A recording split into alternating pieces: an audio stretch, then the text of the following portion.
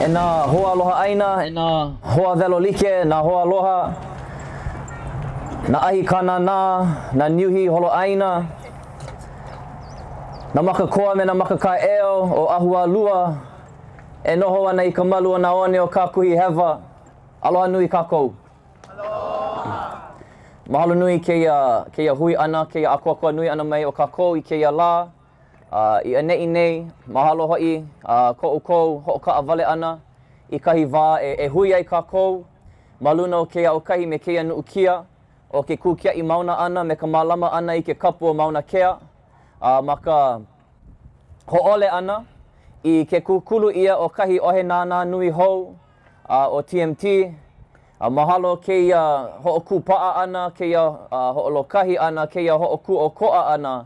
Uh, o ka koa pau, uh, nani vale, pākana au, uh, uh, ho'omaka e mino aka ka waha, i ka ike ana i ke ia ano komo vale ana o ka po'e, i loko o nā mea i no no ia ma ke kahi ano he hana ia ma ka mauna, a leila hele ana i Honolulu, a hele ana i Enei, a ike ia manavahi a pau ke ia hapai like ana i, i ke ia aukahi me ke ia nuukia, me ke ia kule ana nui o kākou ka lahui.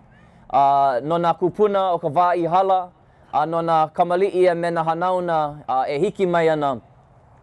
Uh, piha vale kana au i ka mahalo, ka haa a me ka uh, kia loha, ia o koupakahi a pau, Uh, mahalo, mahalo nui. Uh, hello everybody. Um, my name is Kaho'okahi Kanuha. I am from Kona, Hawaii, the ahupua'a of Holualoa. And um, before we get started, I want to just mahalo everybody for, for taking the time um, out of what I know are our busy schedules to be here, um, to come and to, to listen, but more so to, to see the, what's happening um, off the Mauna. Uh, I, I, hear and I read and I know about the support and how um, things have gone way beyond that, but being up at 6,500 feet and, and being on the Mauna most of the time, we don't always get to experience it and to see it. And to see, just to stand in the back there and to see the aha happen and happen so naturally and so comfortably. Um, to see Keiki and Makua and Kupuna it's a it's a trip um, and and I just have so much mahalo for you folks for everything that you folks have done for the support that you folks have given uh, to Mauna Kea. I know many of you have probably been to the Mauna. Many of you have probably been to the Mauna multiple times. Um, and I know many of you will probably go to the Mauna again if and and for the first time if you haven't. And I just want to mahalo each and every one of you because um, What's happening on Mauna Kea is not a Moku Keawe issue. It's a Lahui issue. It's a Kanaka issue. And um, I, for one, know that without each and every one of you, without the support that you folks have given us uh, from Oahu and from all the other Mokupuni as well, that the success that we've had up until this point would not be possible. Um, it's not going to happen with a few individuals. It's not going to happen with a, with a moku. It's not going to happen with a mokupuni. The only way that it happens is with a lahui. And um, I'm just privileged and honored and grateful to be a part of such a special time in our history and to, to stand here amongst each and every one of you um, together as, as one lahui, whether we, we have the, the koko or not. Um, I, I just I, I, cannot believe um, what's happening in, in this at this time. We had uh, we had what we thought was a crazy idea three weeks uh, three months ago to occupy Pu'uhuluhulu um, because we knew that ever since 2015 after we stopped TMT on the Mauna and after we stopped them or the the, um, the petitioners stopped them in the court, we knew that was a win. We knew it was a victory, something to be proud of, and something that would carry us forward. But we also knew that it wasn't something that was permanent. That this, that that time would come again. We didn't know when. We didn't know how many years we'd have in between. But we, I, I felt very confident, and many of us felt confident that the struggle that we engaged in and that we endured in 2015 was going to be a struggle that we were going to have to do all over again. Um, and I'll be honest, you know, in 2015, one of the things that we could say, and there, there was many, but one of the things that we could say to those who didn't support or who wanted to just use the, the rule of law argument was that this issue was not settled. It was still in appeals in the Supreme Court, and there was not a final decision to grant the permit. And a lot of people could kind of, um, you know, get that, and they could they could they could base an opinion solely on that. Well, let's let's let it be settled, and then we'll see. And so, um, I think many of us knew that when we go into that system, that flawed system, very, very rarely does it work in our benefit. And history shows that. Um, but I want to mahalo the, the individuals and the groups who went in there anyway and who, who dedicated their lives um, to that struggle. Because what took place in the courts, in the contested case hearing in the Supreme Courts, that's just as much of a sacrifice and a struggle as it is to be on Mauna Kea or to be at Pu'uhuluhulu. And so I want to recognize um, those individuals.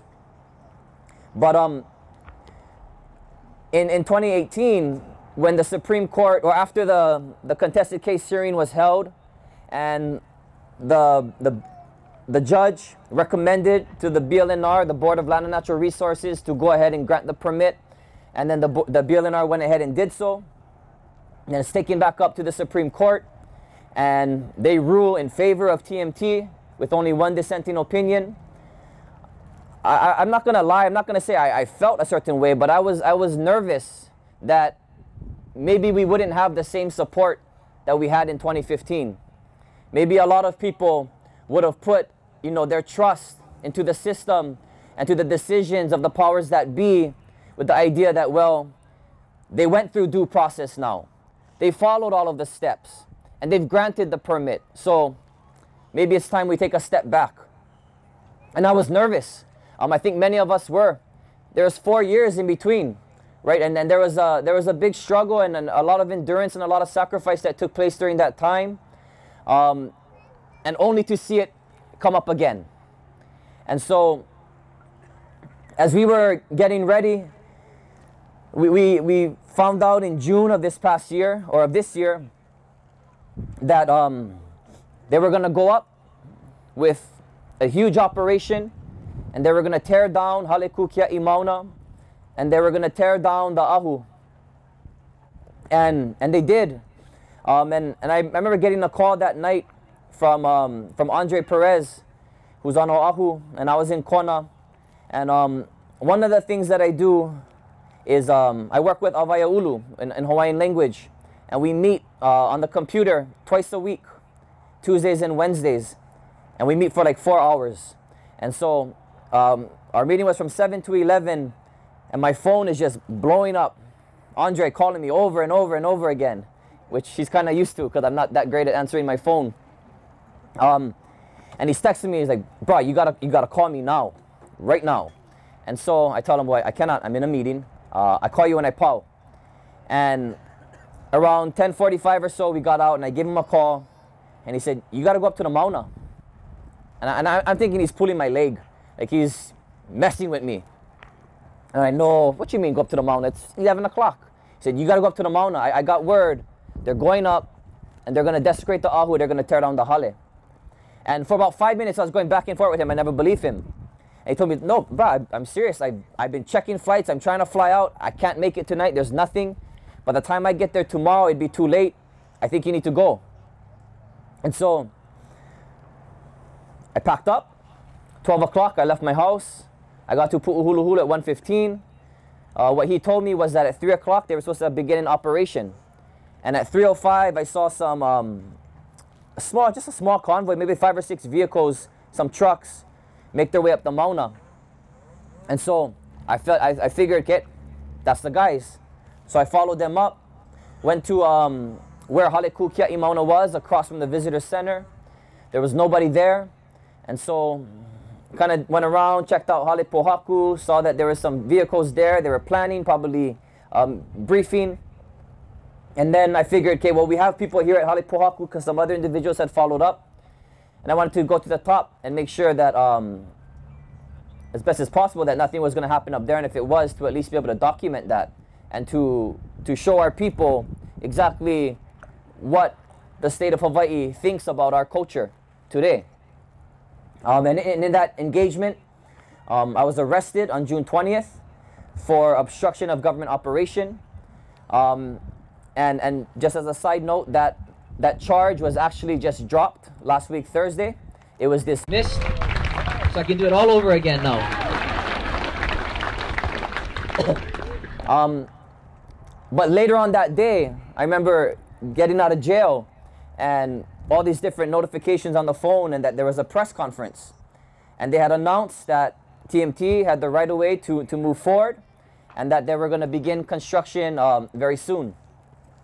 And so I think from that day, that was June 20th, um, we went to Hulu Hulu on July 12th, so we had about three weeks. So uh, we knew that we had to begin organizing and planning for another prolonged struggle and resistance on Mauna Kea. But the truth is, like I said earlier, we knew that from 2015 it was going to happen again.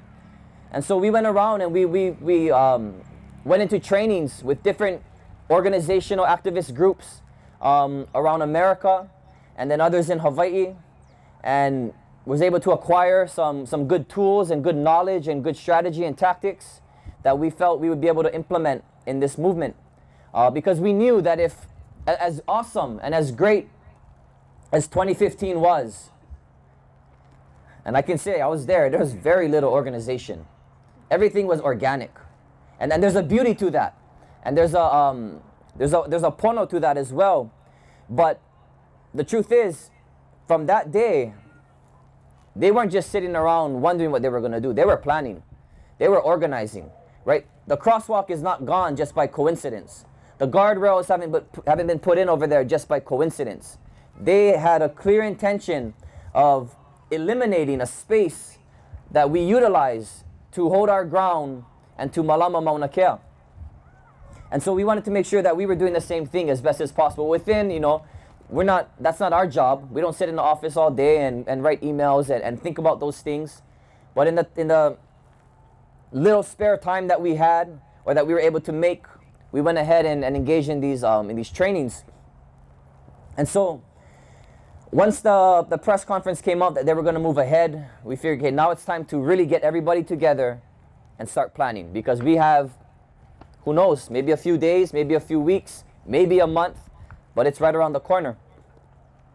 And so, um, again, Andre calls me and he says, bruh, you gotta get the people together.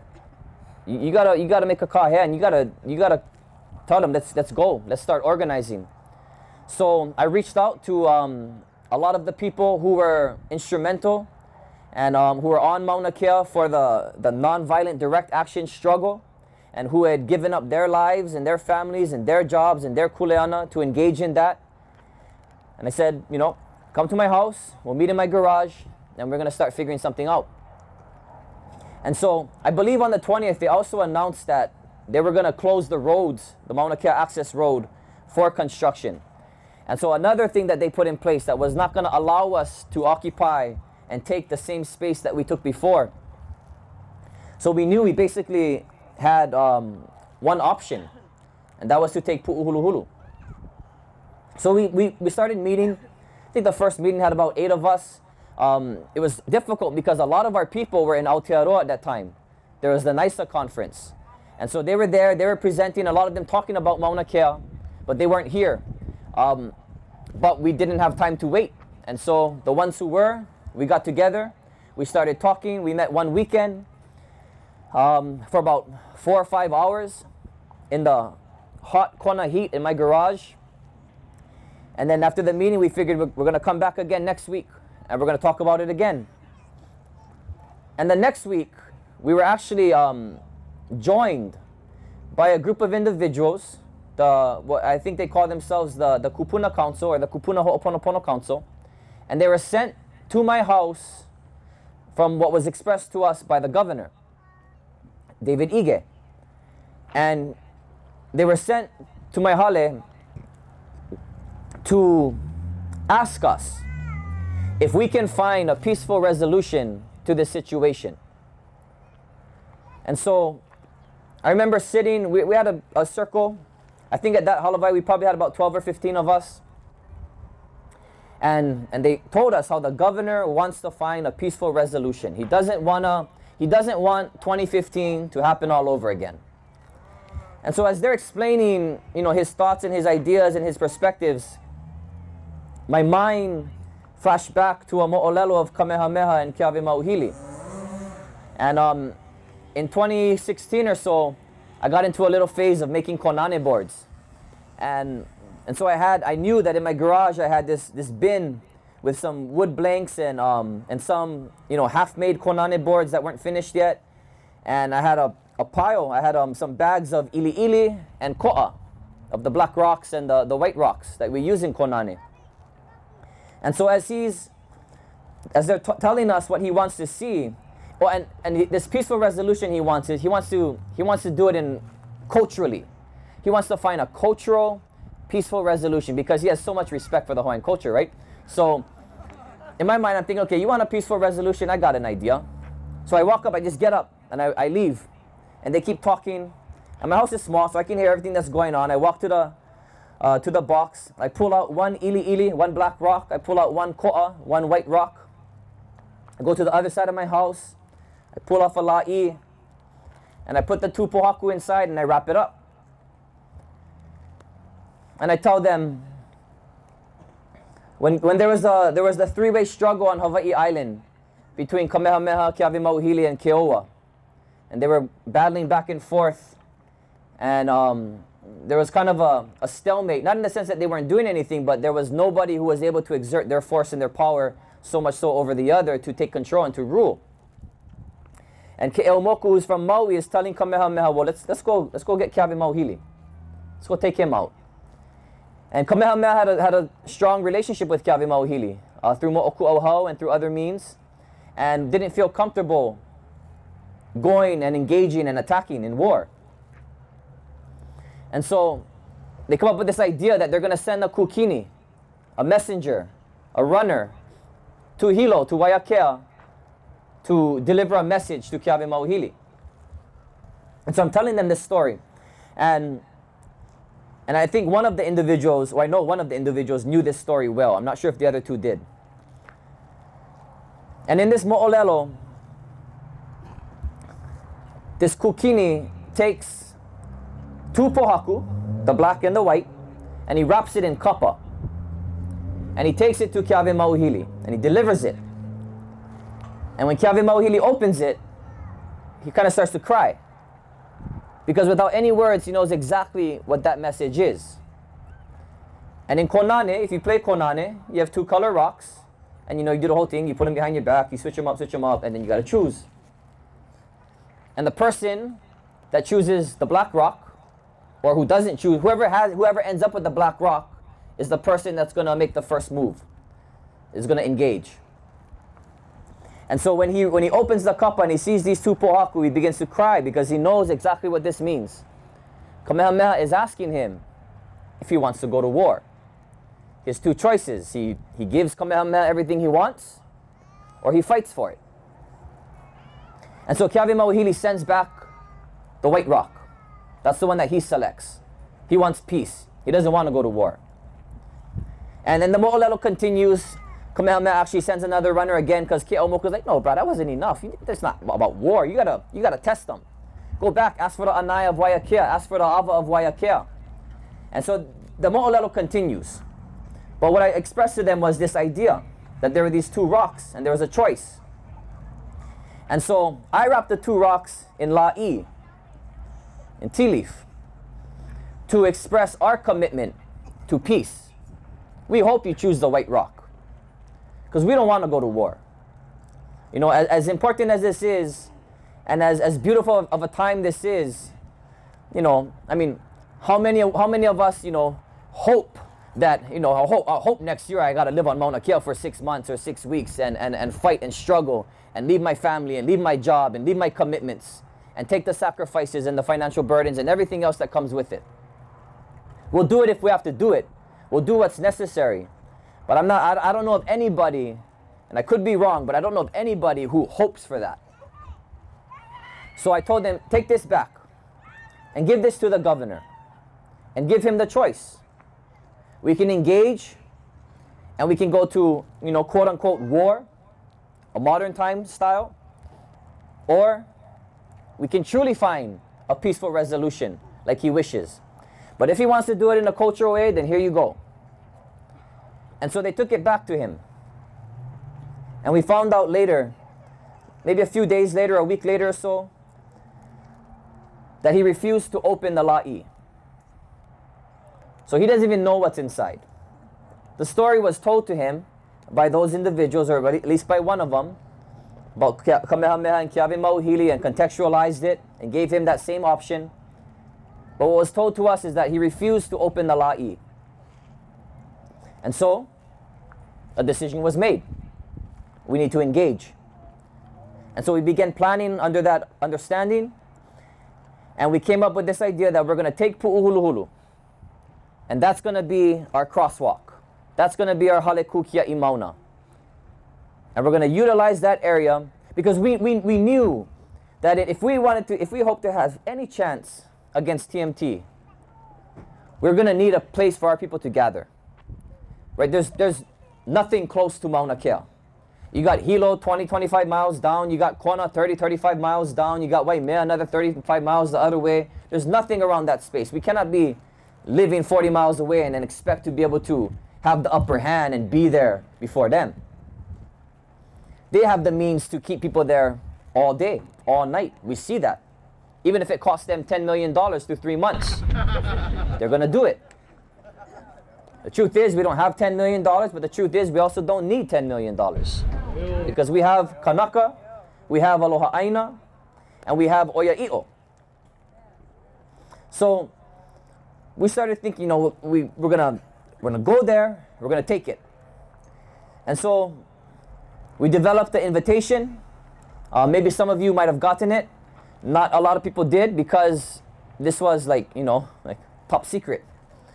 Uh, we didn't want to we didn't want to be sharing our plans and, and, and sharing it through avenues and venues that could be infiltrated and where this information could be taken uh, into the wrong hands and they could get a step ahead of us. So we are utilizing um, you know, secret means of communication with the idea that on Friday, June 12th, we're going to meet at Ohai Ula at Spencer Beach Park. And we're going to ask the people to join us at Pu'uhuluhulu to stand in protection of Mauna Kea. And so, between the last meeting uh, on a Sunday and that day on a Friday, you know, as you as like anything you do, as you get closer, you start to second guess, you start to question, you start to wonder, who are we are we ready? Do is our plan good enough? Uh, what about this? What about that? What if they think this? What if they say that? What if we do this? All these different scenarios running through our head. And we start to feel like, okay, we need we need a little bit more. We need a we need more than just go to Pu'uhuluhulu and occupy that area. And and from 2015, you can see it with the building of the Hale, you can see it with the building of the Ahu, you can see it with the um, the, the lole that people wear, the, the utilization of Hawaiian language, of oli, of pule, that we want and we need our resistance to be rooted in our identity and our culture. We have a lot of examples throughout the world that we can look to, to follow, and as examples. And we use them, and they give us guidance. But we also need to have our own movement. We don't want to just copy Martin Luther King. We don't want to just copy Gandhi. We can utilize principles and philosophies and ideas and tactics and, and strategies from them, but it has to be grounded in our culture. Especially if the governor and the state of Hawaii respects Hawaiian culture like they say. And so, I think it was um, Wednesday night, Kaleikoa and Andre are the first two to come to Hawaii Island. They stay at my house and we start together. We get all paranoid and we start asking all these questions we need more. And in 2015, as we kind of reached a stalemate, because 2015 was Occupy end of March, police engagement, I think it was April uh, or March 28th or 29th. They came up, we held them off at the crosswalk for eight hours. From 7 to 3.30. They turned around, went back home. No arrests. Victory number one. A- about a week later, April 2nd, they come up again. And that's where the 31 Kanaka, the 31 Aloha Aina are arrested. I think it's 12 down at the crosswalk and then another 17 uh, or 14 or whatever the number was up at um, the proposed site. And we're able to hold them off that day. They might have gotten into the machines for a short period of time, but no more than half an hour. They had to go back down because of the amount of time it took them. And then we had a, a long, about a two month, two and a half month stalemate where nothing was happening. And they came back up again on June 24th. And that's the day that we had all the different lines up on the Mauna. We had the crosswalk again with the kupuna. And from 7 or 6 o'clock in the morning, whatever time it was that they got there, until about 1 o'clock that afternoon, they made it a grand total of one mile past the crosswalk. And they made the decision that it wasn't going to work. They turned around, they went back home. And that was the last of it. We remained there for about another month or, or month or so. And then we, we went into a time of ho'omalu. Yeah, to reorganize, re-strategize, re-energize, and do all that good stuff. And then in November, we get the kahea that um, they're going to go up one more time. They're going to try. And I think it was the night before they were supposed to go up that there was an injunction um, that, was, that was put in, not allowing that to happen. And then shortly after that, there was a decision that came down from the Supreme Court ruling that permit invalid. And now TMT didn't have, didn't have the so-called legal right to proceed. And they had to move towards getting the machines off the Mauna. And so we expected that this thing would be similar, that it would be a prolonged one. I, for one, didn't think that we'd have down times like this. I thought it'd be very different from 2015. I thought that they would push forward one day, get pushed back, come back the next day, get pushed back, and, and keep coming and keep coming until they got through. And so far, that hasn't been the case. But we needed to be prepared for that, and we still have to be prepared for that because it still very well could happen. And so, as we're talking about these things, they come in Wednesday night. We're going to Costco, super uh, conspicuous, looking, buying all, buying tents and buying lanterns and buying all, all kinds of stuff. And the three of us together, yeah. So, um, our our cover was blown. But that night we're talking about it. And, and like I was saying, in, in 2015, during that time, as we were in between those, those days of, of police engagement, we started talking about the idea of creating a pu'uhonua there that would give us more of a cultural right to be there and more cultural protection. And so we were brainstorming, but we never, we never ever got to that point. Um, and, and things were very different back then. A lot of times in 2015, there was eight, 12 of us on the mountain at a time. I mean, other than the nights before arrest, I think the most people we had staying on Mauna Kea was maybe 40 or 60 people. So we didn't have the numbers like we do now to do those types of things. So it never happened. But as we're brainstorming and kind of getting all paranoid and freaking out, we fell back to that idea.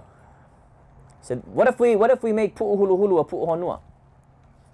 A safe place, a refuge, a sanctuary, a safe haven for our Kanaka, where we could gather, where we can, you know, find safety and shelter, have food, have water, and be able to sustain, hopefully, well, what we hope will become a very large and mass movement. And so we figure, okay, well, who, who has kuleana to that aina? Who has the most kuleana to that aina? And there's a ahu there at Pu'uhuluhulu. Many of you have probably seen it, and many of you have probably been to it. And that ahu was built in 1999, and it's malamad by um, the Royal Order of Kamehameha. And so we figured, okay, what if we reach out to the Royal Order of Kamehameha? I tell them, I was like, whoa, I get the Kai and I get the Kalaimoku's number. Like, we call him. Like, yeah, call him. So we call him Thursday night, about 6 o'clock or so. And um, I talked to uh, the Kalaimoku, and I asked him, Uncle, I gotta talk to you. We can, uh, we, we can talk story. He's like, yeah, yeah, yeah, yeah, what's up, what's up? I like, oh, but not on the phone. I, I like talk to you in person. He's like, oh yeah, anytime. What you doing tomorrow? I like, no, not tomorrow. I gotta talk to you tonight. He's like, oh, it's kind of caught off guard a little bit. He's like, oh yeah, yeah, can. I said, okay. Um, we gotta run some errands. We gotta go to the airport, pick some stuff up, and then we'll come by. He said, okay, come by.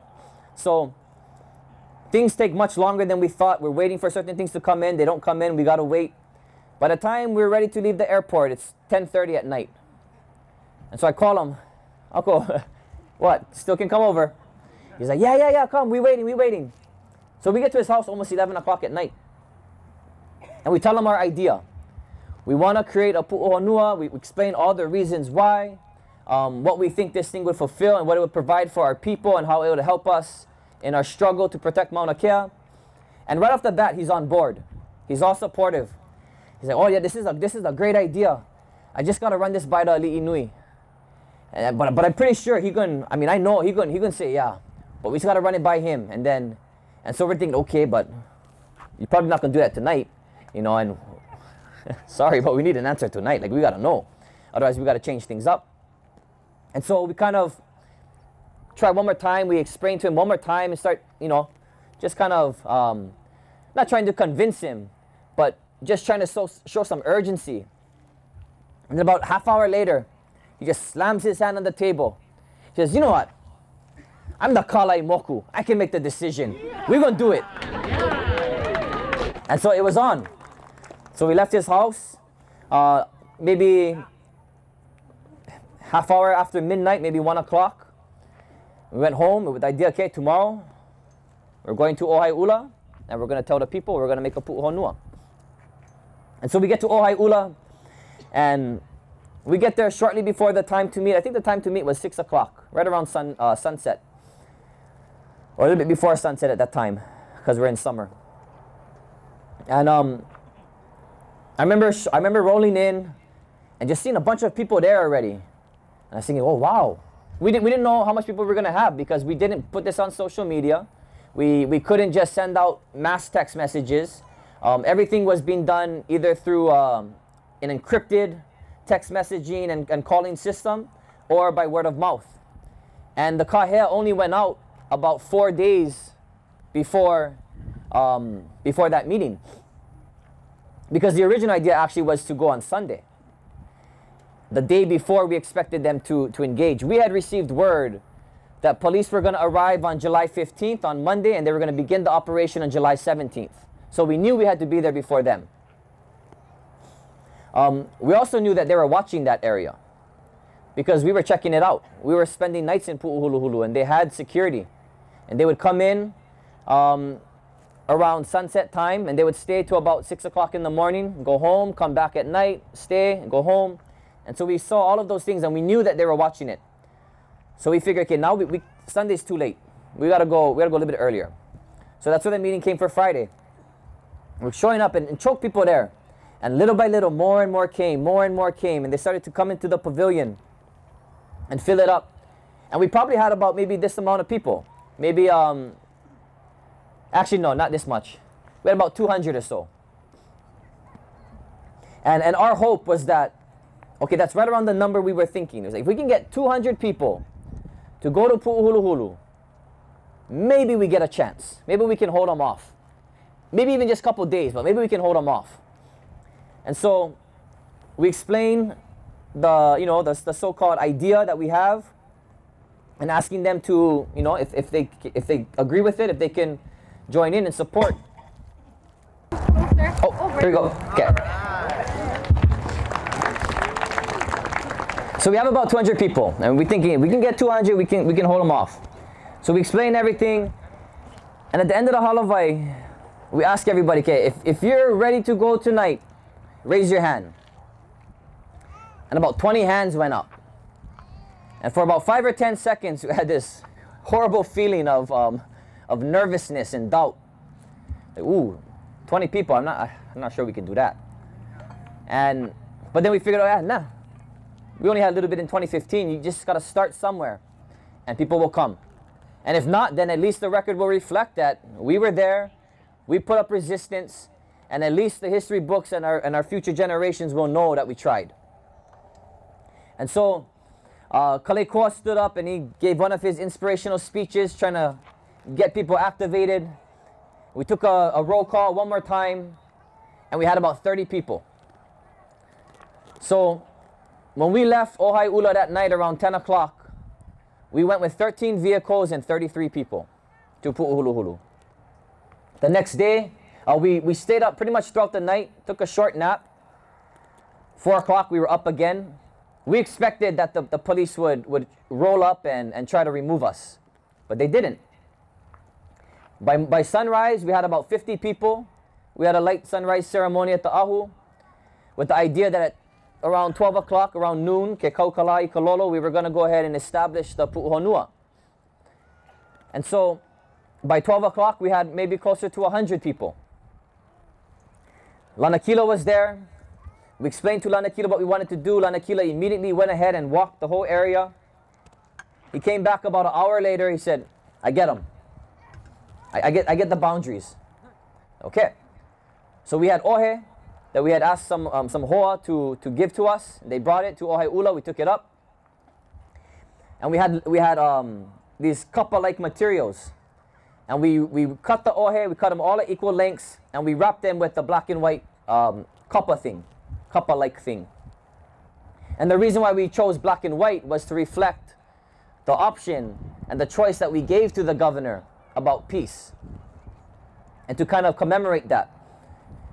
And so that day, we, um, within our group, we had a lot of people who weren't from Hawaii Island. They had come from off island, they had answered the kahea, and so we found, we found people from every different mokupuni to, to kokua in erecting certain lepa. So no mokupuni was left out of the erecting of the, of the different lepa lepa, the different boundary markers around the pu'uhonua.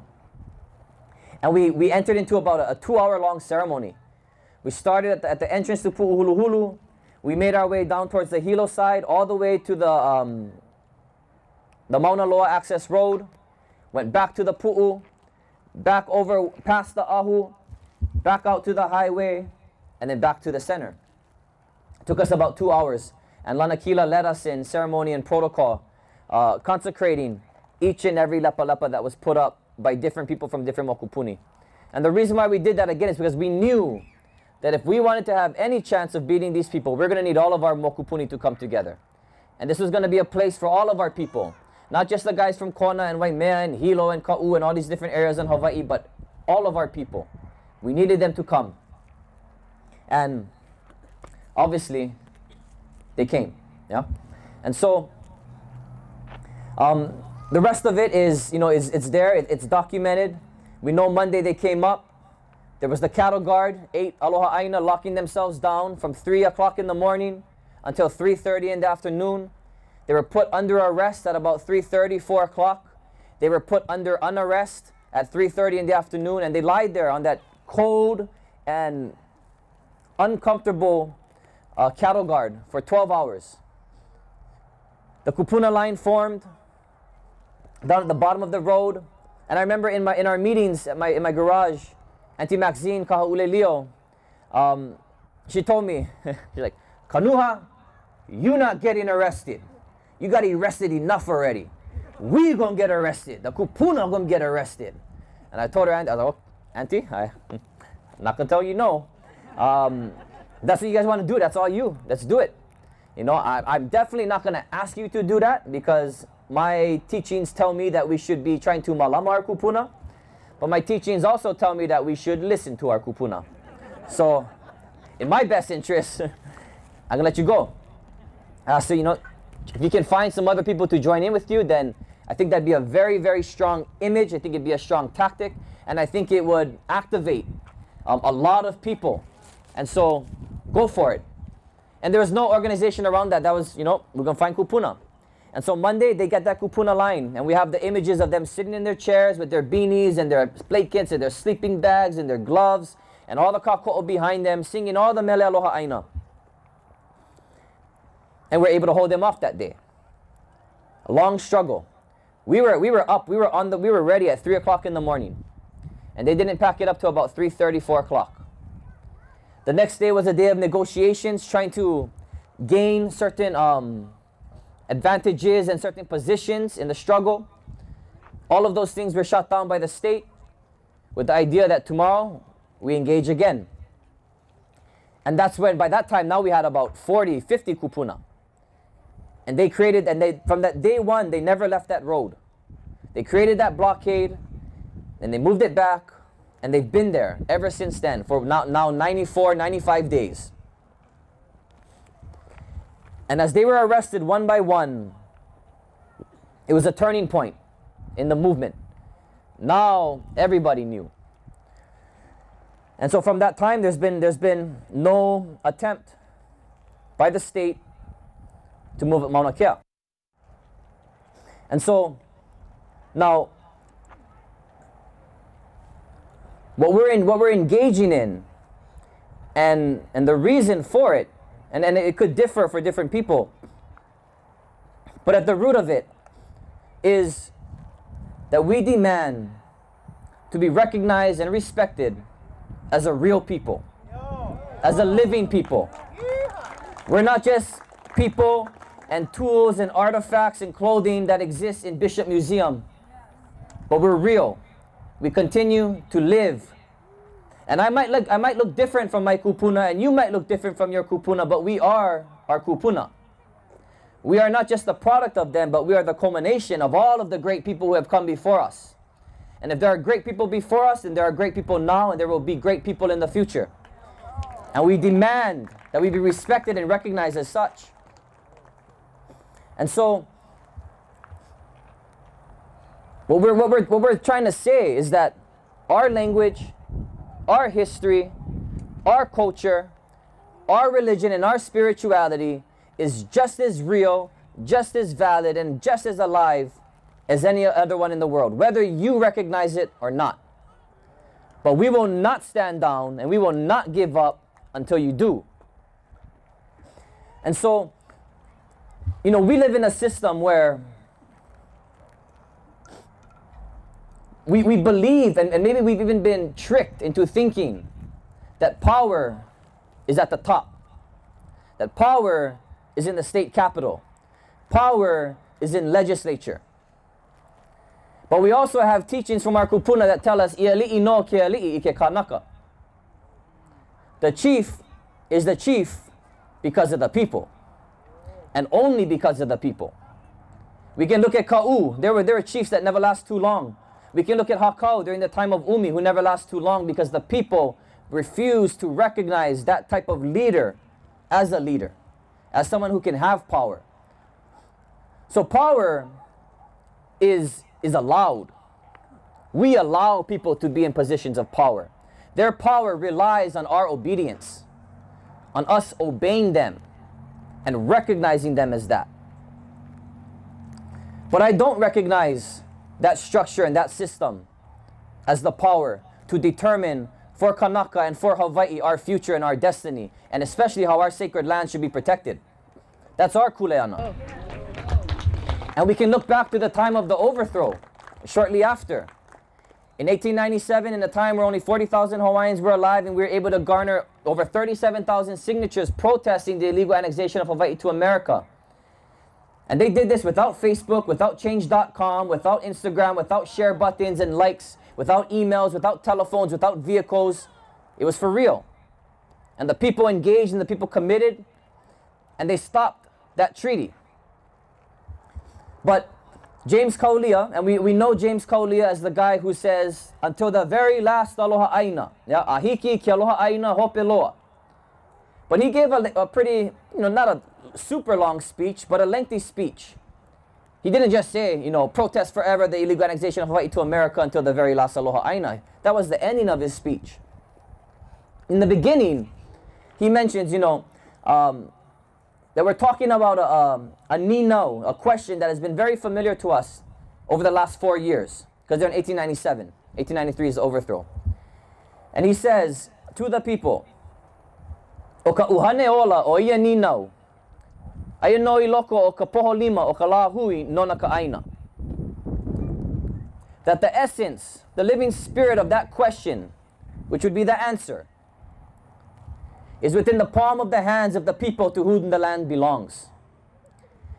They can be taking the treaty to America. They can be taking it to Congress. We can be talking about Dole folks in the Republic and the, um, and the United States of America. But no matter what, the power, the spirit of that question is in our hands. And I think that that quote is appropriate for this time. Because many people think, well, it's up to the Supreme Court. It's up to the governor. Well, if maybe if, if, if TMT says they won't build it on Mauna Kea, then, then so be it. But I, for one, am not going to allow China, Japan, India, Canada, and America to tell me and to tell us what happens on our Mauna. That's our decision. That's our kuleana. And so we need to remember, no matter what systems are in place.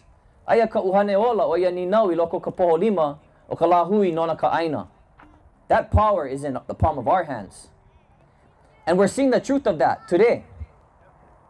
Because if we did not engage, if we did not sacrifice, if we did not take that pu'uhonua, TMT would be 90 days into desecration.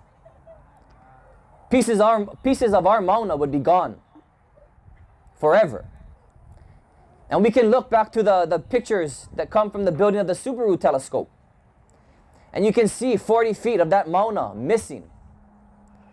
And I tell people, it's not like they, they it's not a piece of, you know, they cut them off and they took them to the storage and they get them waiting in Hawaii self-storage. And they're going to bring it back out in 40 years and velcro that bugger back onto the land. It's gone forever. And if we don't do anything, then another piece of our aina is going to be gone forever. Another piece of our kupuna is going to be gone forever. Another piece of our history is going to be gone forever. Another piece of our mo'oku is going to be gone forever. Another piece of us is going to be gone forever. Because Navahi says, I think it was 1895, Ovaila ko makuahine. And he answers, Oka aina no. Ovaila ko kupuna vahine. Oka aina no. Who is your mother? It is Aina. Who is your grandmother? It is Aina. So, we do the equation, and who are we? We are Aina. Ua mau ke ea o Aina i ka pono. If there's no pono for Aina, there's no pono for Kanaka. To damage Aina is to damage Kanaka. And so we need to the only the only option we have is to stand together. And my, my friend and mentor Kaleikoa, he always says the greatest fear of the state of Hawaii is a unified and educated Hawaiian people. And that's what we're seeing happening right now. We're becoming unified more and more every day. We're becoming educated more and more every day.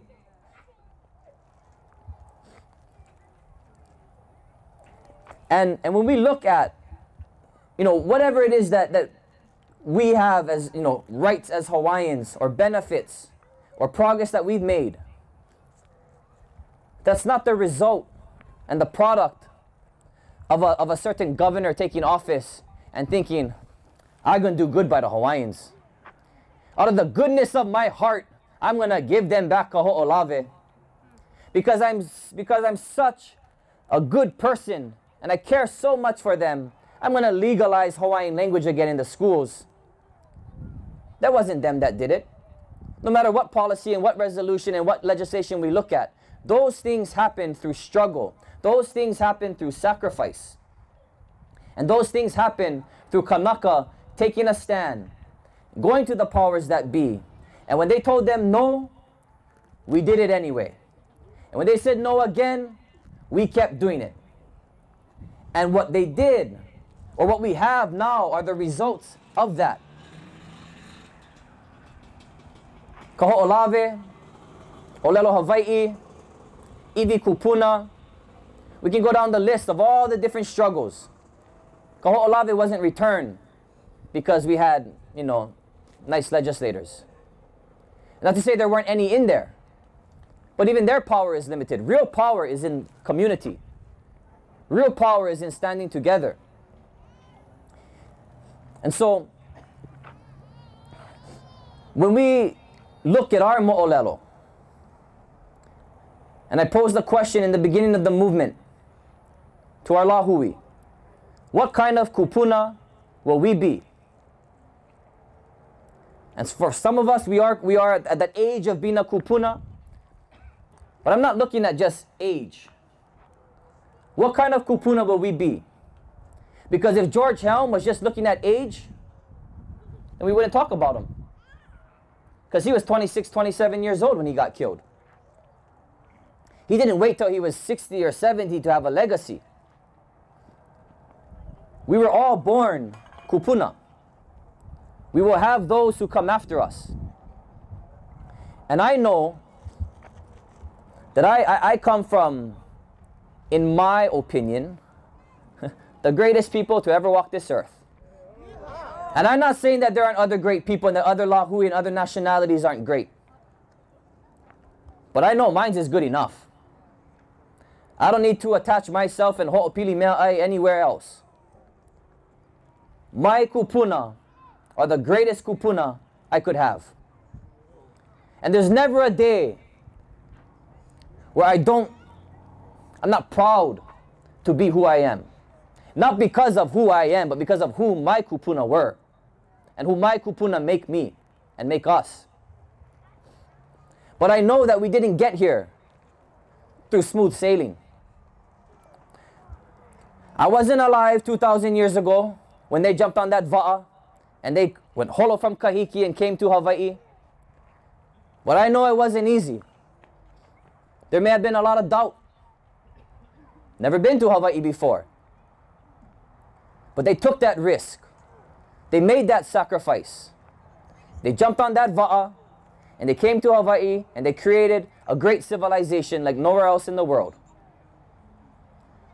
Clean, productive, sustainable. I know that during the times of Kamehameha, when he goes to Maui and he invades them and he gets in front of his people and he says, Imua e nā pōki'i, a vai ava ava, a ahe hope e hoia e ai. He wasn't talking about drinking lemonade. He wasn't talking about drinking fresh water. It wasn't iced tea and pog juice. The vai ava ava, the bitter waters, the bitter waters.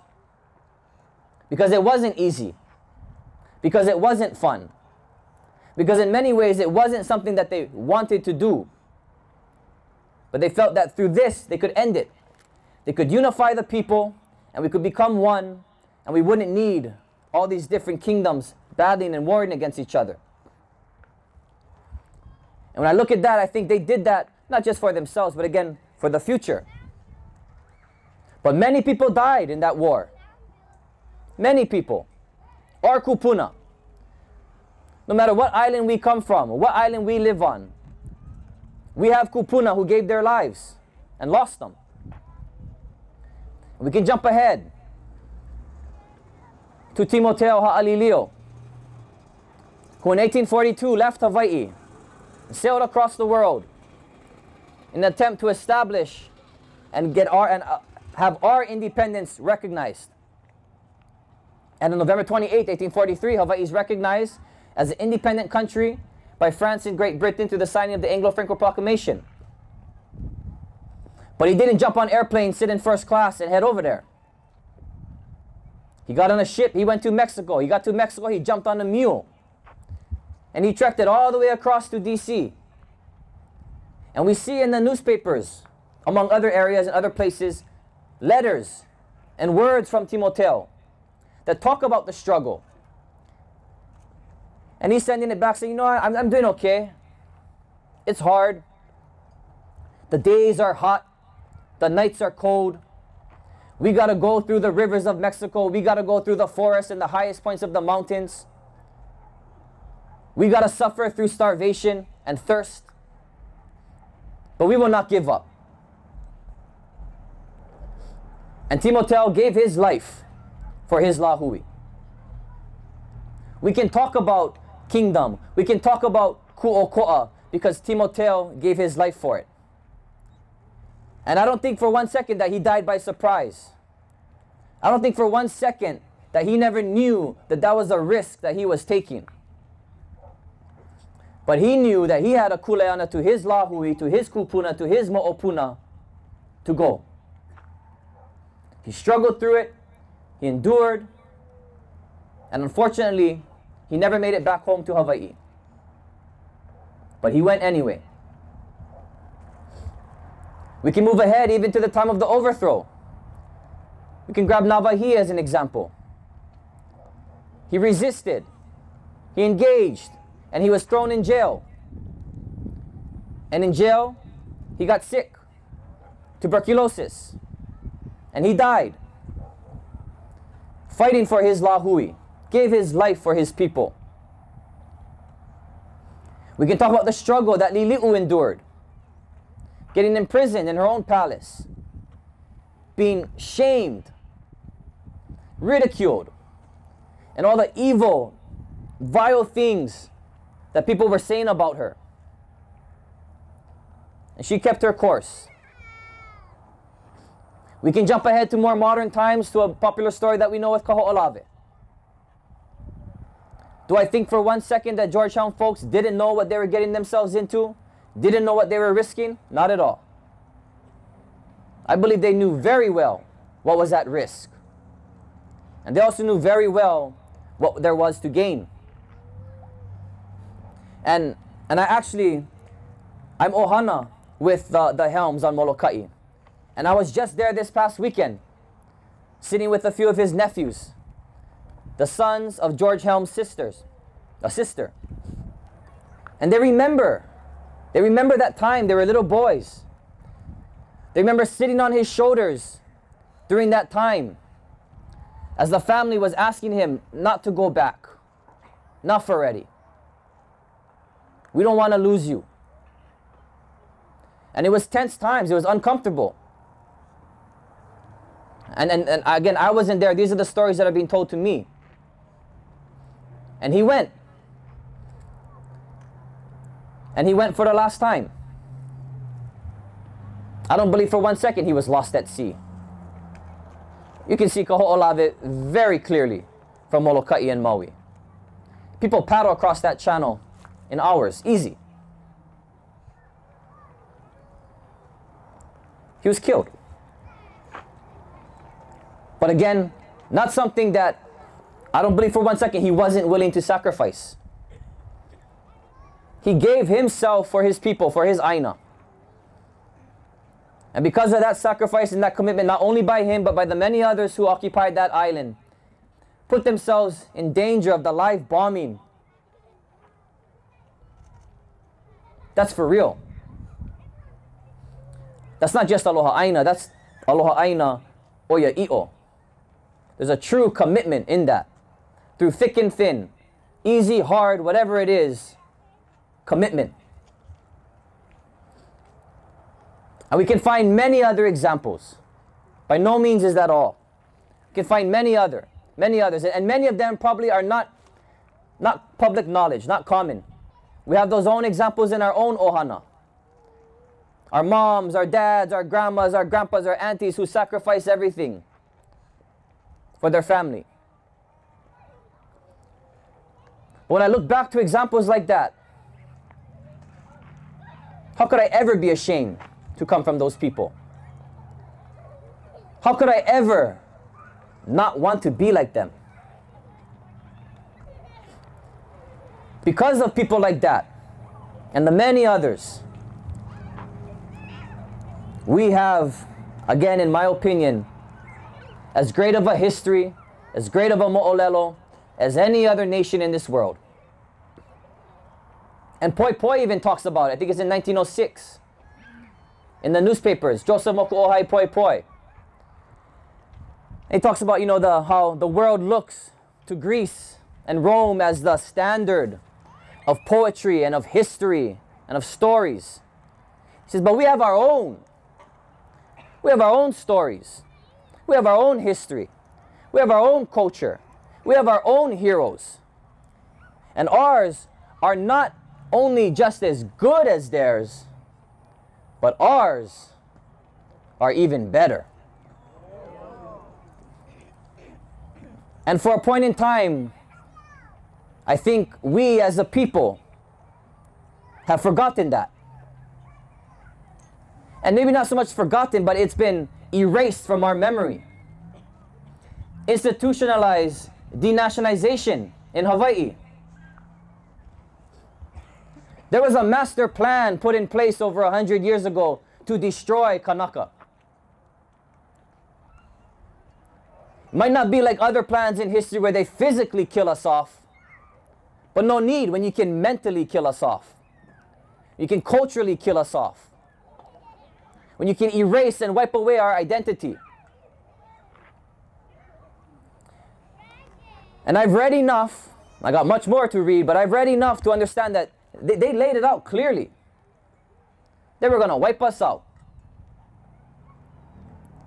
So, what's happening today, according to that master plan, is not supposed to be happening.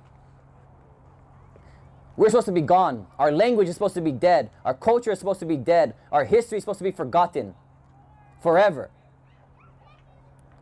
But again, whether there are those whose story we tell or those we don't, they held on.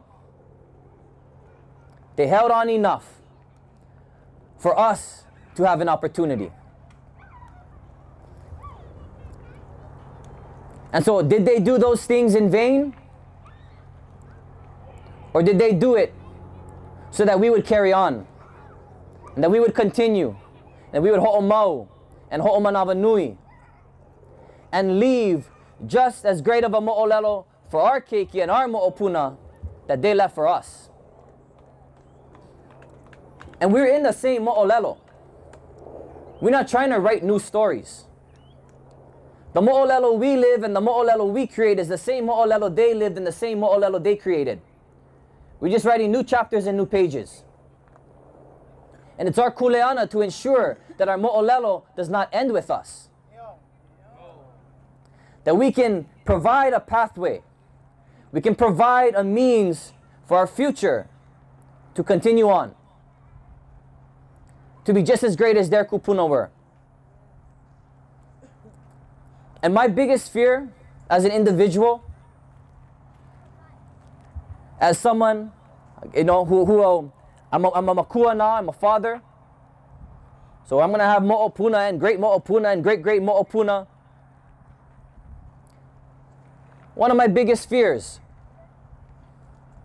is that when they look for inspiration, when they look for guidance, when they look for answers, they got to skip me.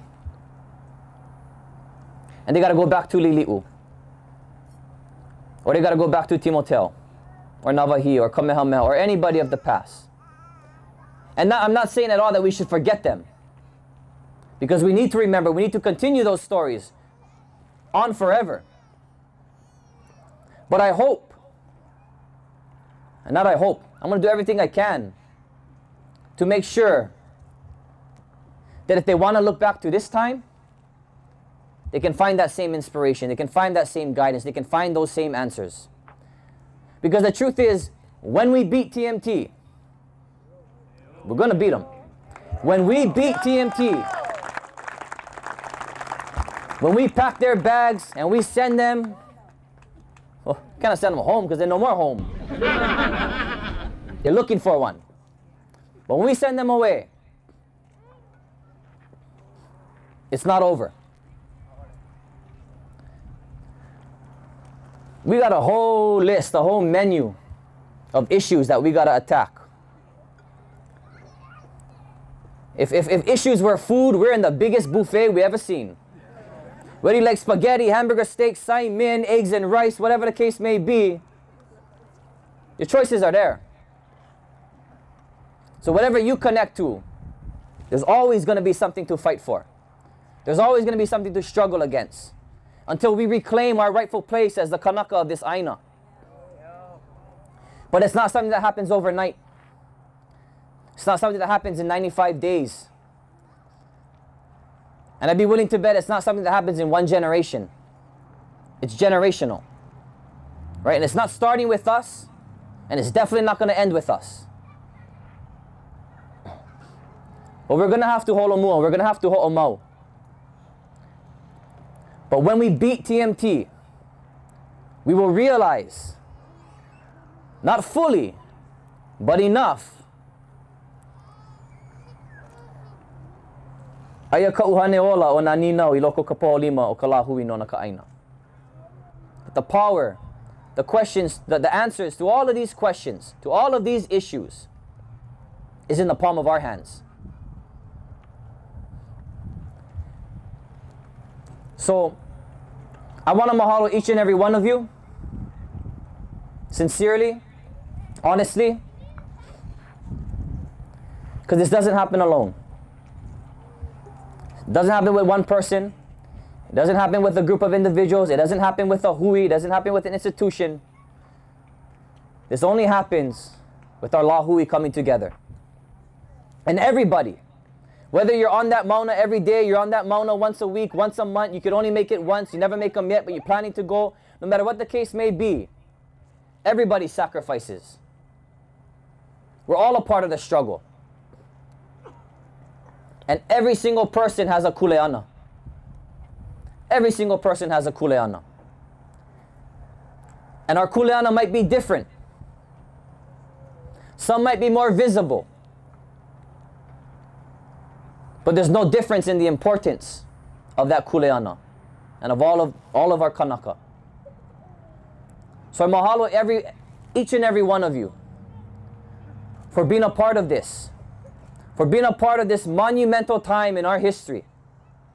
A time that will never be forgotten. Because without whatever that sacrifice is, you're contributing to our success. You're contributing, you're contributing to our lanakila, to our liberation as a people. And we need each and every one of you, no matter how it, whatever how it is that you engage and you contribute. So if ever at any point in time you feel like you're not doing enough, I wish I could do more. The truth is, we all do. But we're going to do what we can do. And everybody's situation is different. There's a lot of people who provide me the support that allows me to do what we're doing. And that's the same case for many other individuals. And so if you're not on that mountain because you're taking care of the hale, or you're taking care of the bills, or you're taking care of the kids and the food, the mala, the community engagements, whatever it is, that allows others to be there. If you can only come one time, you're not willing to get arrested. You only want to stand on the side of the road. We need you there. It's not just people getting arrested. Someone got to bail them out, right? But when you go to the Mauna, the police don't know us. I mean, you know, kind of know us a little bit, but they don't know exactly what your intention is. They don't know who's going to get arrested and who's not going to get arrested. They say 3,000 people, they see 3,000 people. That could potentially be, in their minds, 3,000 arrests. They see 5,000 people, it's 5,000 people. They of go ahead and guesstimate, oh, nah, I think only 300 of them going to get arrested. They got to account for each and every one of us. And I know, without a doubt in my mind, if the people who marched on this island the other week, the 20,000 plus, if we take that Mauna, they have no chance. No chance. We will blow their doors. And I also mahalo each and every one of you for committing to Kapu Aloha. I know there's been questions about it in the past, how effective it is. Well, it's too passive. It's not to work. I got 95 days to show you. It works. It works. And we know that it takes all of us to keep that commitment. To gain recognition, to, to become respected, to become effective, recognized, and become credible as a people, it might take 40,000 of us. Might take 400,000 of us. Might take whatever the number is. But they're not on our team. It only takes one of us to risk it all. And so for us holding that, intense situations, when we see our kupuna getting arrested, that's not easy. Where else in the world are you to find a people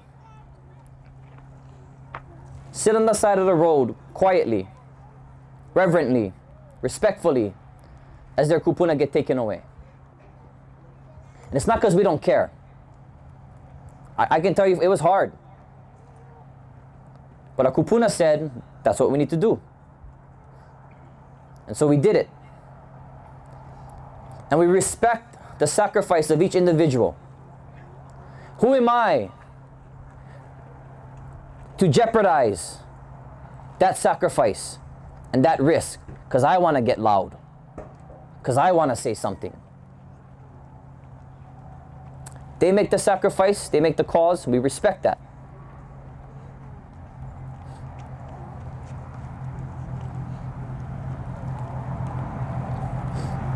And so I guess to um, to wrap it up, I had one more thought I wanted to say. I'm trying to think, I cannot remember now. Hmm.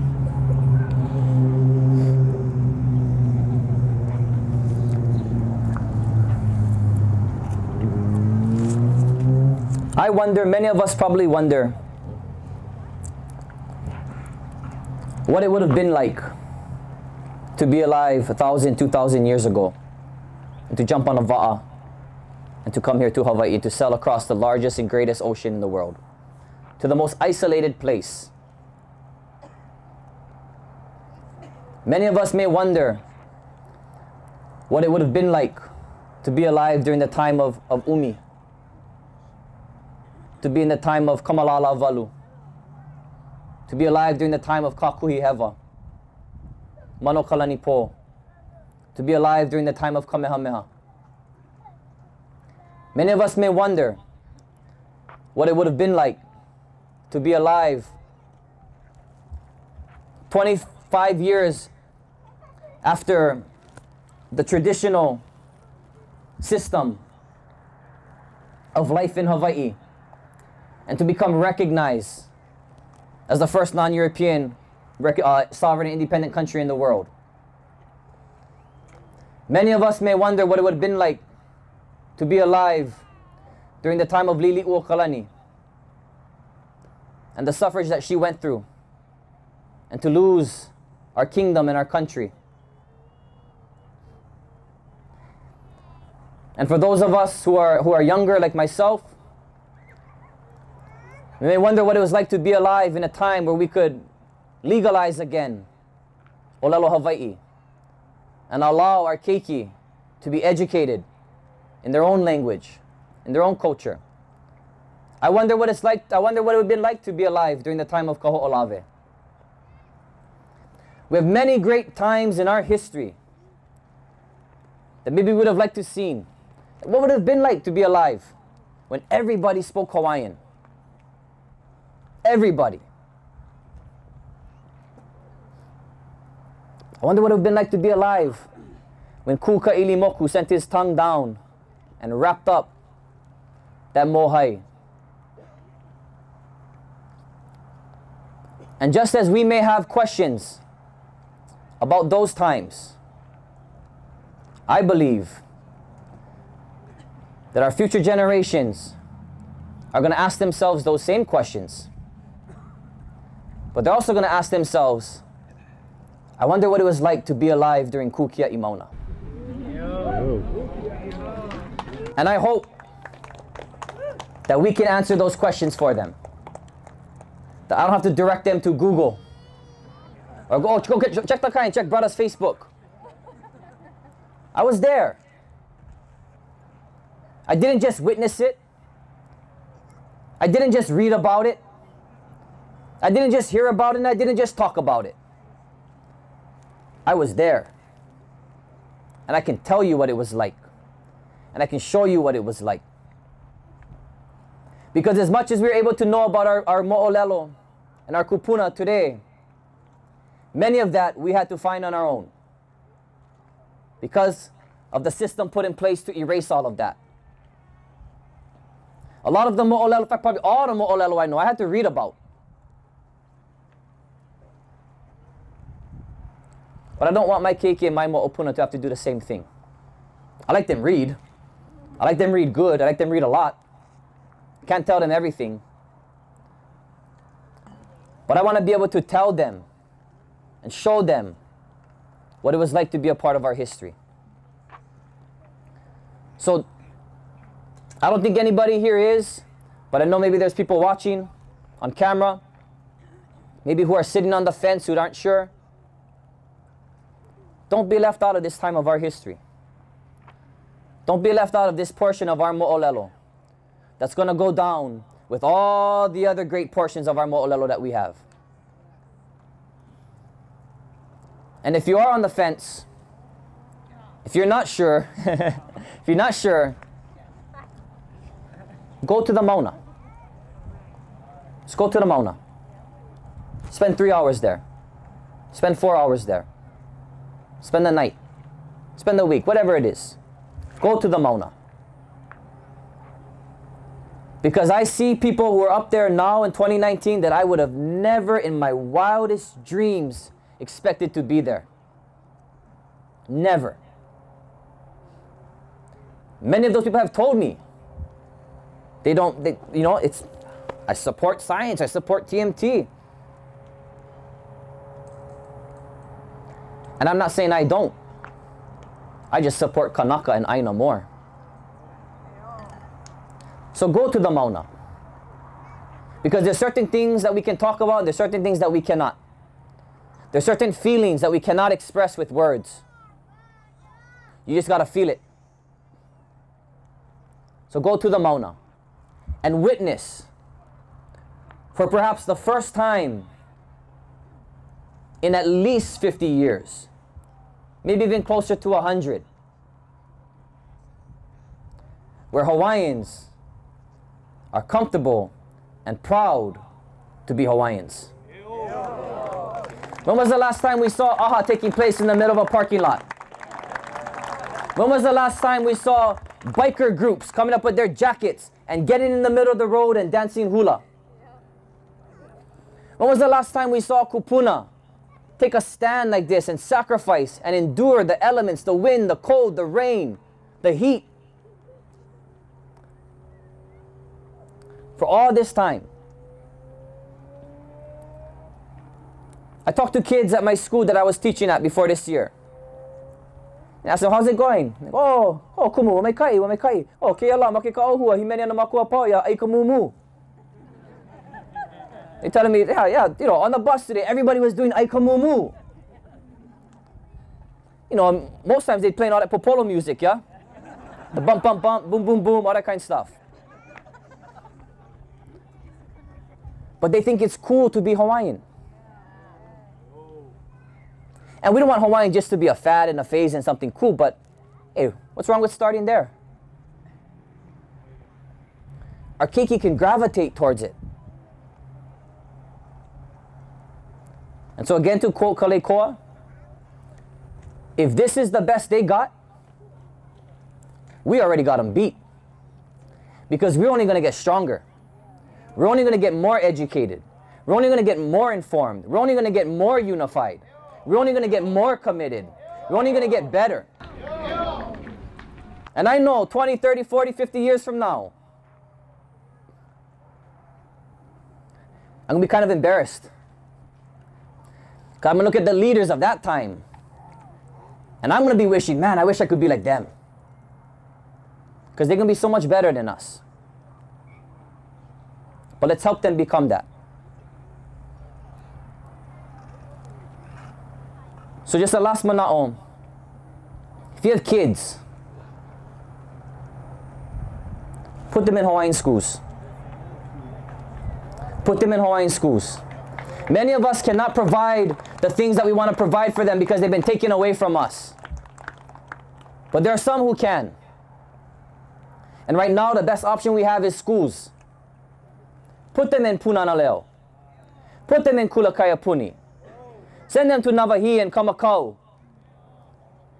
And if you graduated and you want to know and you wish, go to community college. Don't be afraid. Go. If you like, just go to Pu'uhuluhulu Hulu University. No more homework. No more tests. You just be there and take what you can. But Kaulia in 1897 said, in that same speech, E ho e mai ana ka wā e haule hia i ka mana o ka lako mau mea kaua i ka oia ka maka o ka lolo o na kula a pana o Hawaii nei. What holds up their power is just their force. The fact that they got the police, they got the weapons, they got the courts, they got the handcuffs, they got the policies, they got the capital, they got all that. But. The time will come where the power of their weapons will fall. Ka maka o lolo o. Due to the sharpness of the brains that have been trained in our own Hawaiian schools.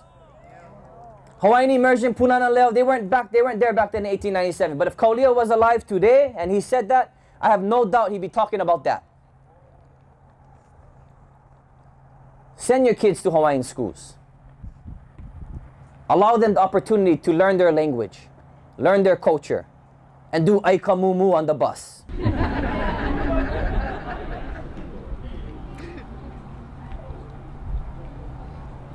and then as best as we can, we nurture it. I was sent to a Hawaiian language school. My parents don't speak Hawaiian, but now I do. And my nine month old son will. And his keiki will. And within a few generations, we'll become a family of Hawaiian language. So it's a long and gradual process. Again, it doesn't happen overnight, it's generational. But just like they say about the trees, the best time to plant them was yesterday. But if we miss yesterday, then the next best time is today. So eh, ehana kako. Put them in, support them however we can.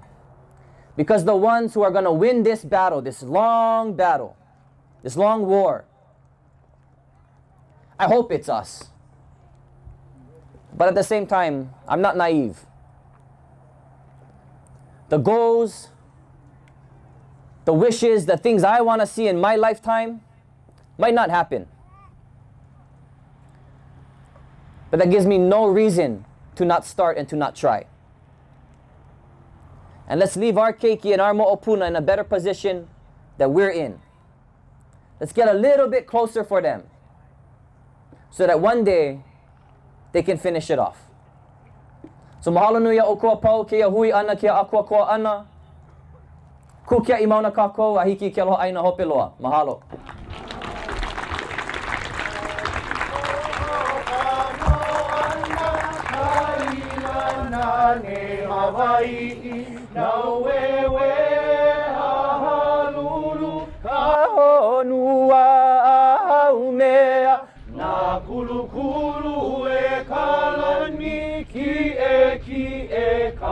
i luna au e ke aloha ole a ka malihini.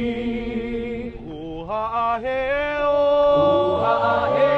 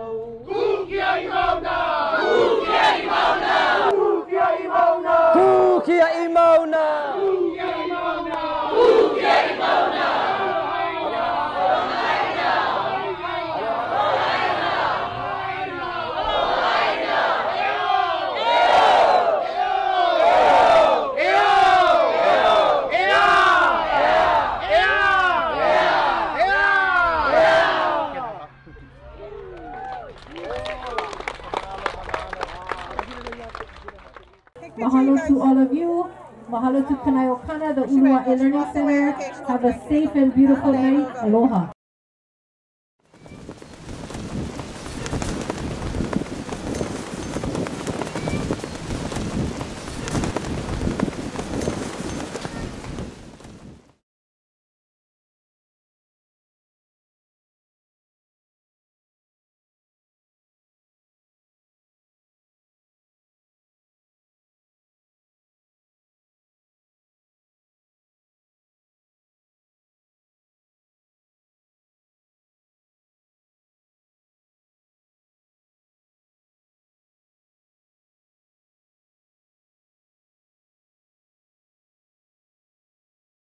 On October 23rd, Hawane and um, Aunty Pua Case will be here in Kapolei from 3 to 5 o'clock.